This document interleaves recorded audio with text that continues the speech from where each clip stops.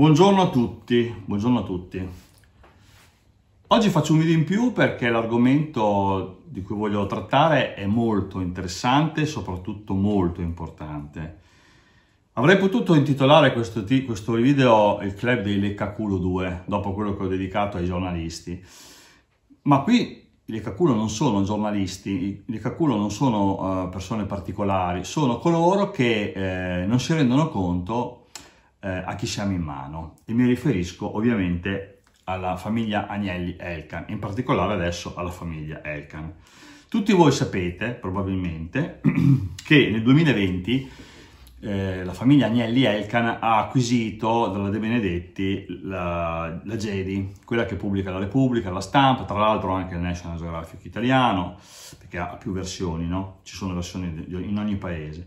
E, ehm, e eh, chiaramente quando si compra una, una casa editoriale, una, una, casa editrice, bisogna averne cura, perché non hai comprato carta straccia, hai comprato il lavoro di tante persone, appunto i giornalisti, e soprattutto il prodotto che magari viene da lontano, quando tu non eri neanche nato, quotidiani che hanno più di 100 anni di storia, quindi un valore anche affettivo. Io faccio l'esempio di Parma, c'è gente che alla mattina si alza prima dell'orario del lavoro per andare a prendere la Gazzetta di Parma in edicola, non sto scherzando, c'è la fila, cioè è il giornale più venduto a Parma in assoluto, voi direte bella forza la Gazzetta di Parma, ho capito, ma la Gazzetta di Parma non è che pubblica cose chissà che cose clamorose, però diciamo che è diventato un'abitudine un po' come prendere il caffè dopo pranzo, il cappuccino, la brioche, insomma fare colazione, insomma è diventata un'abitudine di vita, per cui capite che se un domani qualcuno dovesse prendere la Gazzetta di Parma, parlo della mia città, e eh, trattarla come carta straccia, sarebbe molto grave, sarebbe molto grave. E chi vi parla non legge la Gazzetta di Parma,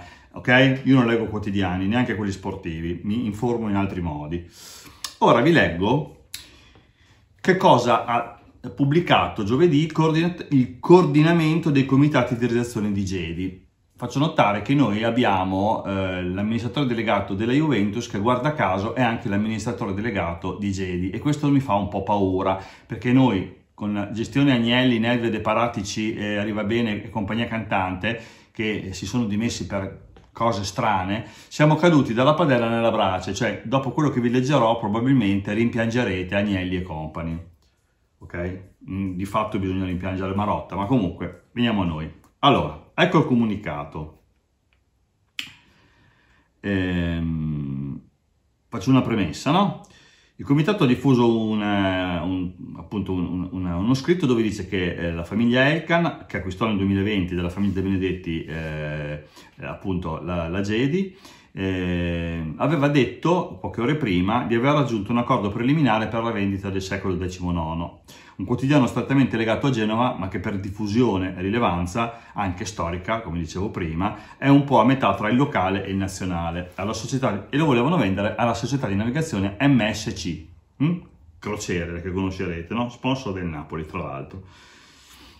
Il comunicato in questione di cui vado a parlare ripercorre le tappe della gestione Agnelli Elkan, dall'acquisto del 2020 alla vendita di 15 quotidiani locali negli ultimi 4 anni, cioè dal 2020 al 2024, in quella che i comitati di redazione hanno definito dismissione. Dismissione. I comitati hanno, capi- hanno scritto di non aver mai compreso e io sono con il comitato, non hanno mai compreso il senso imprenditoriale dell'acquisto di Jedi da parte delle famiglie Agnelli Elkan, che secondo loro sarebbe stato fatto a pezzi e smantellato senza alcuna strategia, contestate con anche oltre 100 anni di storia, rimpiazzate da siti, eh, hanno sostituito dei giornali storici famosi, importanti, che hanno un legame affettivo con la popolazione locale, con dei siti tutti centrati sul marketing e la vendita di prodotti. Marketing e vendita di prodotti. Mm? Si potrebbe chiamare vannamarchismo. Cosa dite voi? Giusto? Ecco nel nuovo Vanna Marchi. I comitati hanno aggiunto di aver chiesto in più occasioni a Maurizio Scanavino, amministratore delegato di Gedi e della Juventus, aggiungo io, di dare una risposta a questa domanda, cioè perché avete fatto questo, ma non hanno mai ricevuto una risposta apre bocca solo se deve sparare delle cazzate su Allegri, eh? sulla Juventus, di cui non capisce una mazza. Qua invece che è il suo lavoro, ok, perché non risponde, non risponde. Beh, bella roba. Hanno poi citato una frase che il grandissimo, aggiungo io, giornalista Corrado Augias, Augias rivolse a John Elkan due anni fa in trasmissione, nella puntata Rai 3 Rebus.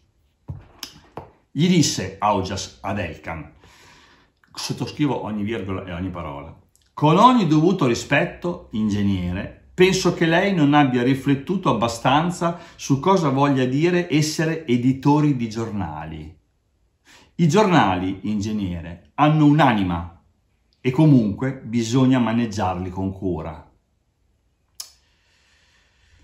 In questi anni la strategia commerciale della nuova proprietà di Jedi è stata molto chiara. Si è basata per lo più sul contenimento dei costi. Mm, vi ricorda niente questo?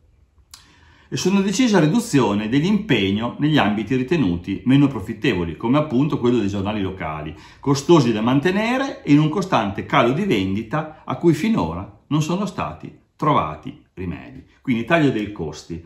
Non gli interessa il fatto che il giornale abbia diffusione o meno, ma devono contenere i costi. Stessa cosa della Juventus. Non interessa che la Juventus vinca.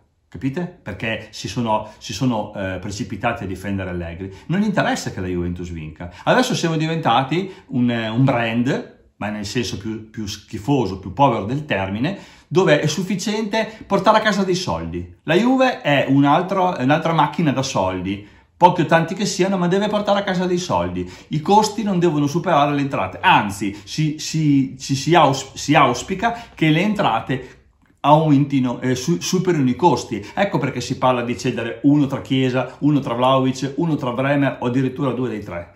Poi voglio vedere io se vendiamo questi tre che sono i migliori della rosa della Juventus in assoluto per qualità e per altri motivi, dove andiamo a finire poi anche se dovesse venire Klopp o Guardiola ad allenare la Juventus o anche Conte che tutti vogliono. Voglio proprio vedere, Conte comunque va al Milan, ve lo dico. Per cui quando si parla di Elkan, e qui finisco perché il, il, il, il diciamo, comunicato prosegue va avanti, quando si parla di Elkan, si parla di uno che ha come Dio, fra virgolette, il danaro. È un uomo che non ha passioni, se non il danaro. Il vil danaro, aggiungo io.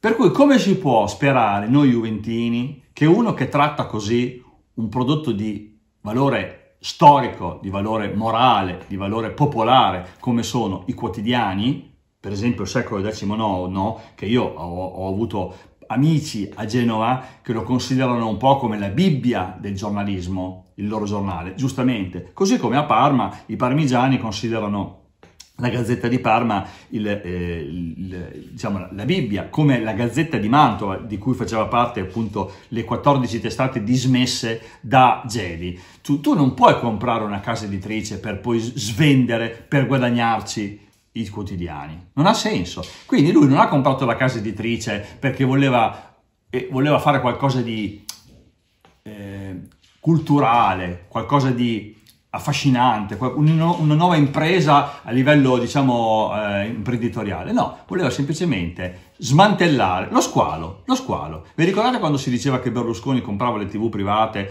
per poi smantellarle, per poi ingigantire Canale 5, Rete 4, Italia 1? Ecco, stessa identica cosa. Allora, a livello imprenditoriale io non ci metto becco, ci mancherebbe altro, non sono nessuno, non ho la competenza per valutare queste cose a livello morale e a livello, diciamo, de, de, de, dell'impatto che c'è sia sui giornalisti che lavorano in Gedi, sia sugli Juventini che ti fanno Juventus, questa è una cosa vergognosa. È una cosa vergognosa perché dimostra che quest'uomo non ha altri valori che non il vil danaro. Non gliene frega niente della maglia, del colore, del tifo, dei soldi che spendiamo tutti quanti noi, chi per partire dalla Sicilia, dalla Sardegna, dalla Calabria, dal Piemonte, dal, dal, dal, andare a far vedere la Juventus in tutte le partite. Non gliene frega niente a nessuno. Chiaro? Quindi signori, io ve lo dico, siamo veramente caduti in basso. Io spero con tutto il cuore, a conclusione di mia, eh, questo mio video, che un giorno qualcuno che abbia a cuore la Juventus, non so chi possa essere, e che abbia dei denari da spendere, prenda questa squadra, questa società. Poi la Jedi eh, se la vedranno i giornalisti, se la vedranno i sindacati, se la vedranno chi di dovere, con chi rimarrà in Jedi. Ma io sinceramente spero che Elkan sia un domani, non tanto lontano, un ricordo sbiadito legato alla Juventus. perché con quest'uomo, secondo me, noi non andiamo da nessuna parte, soprattutto in Europa. Ciao a tutti.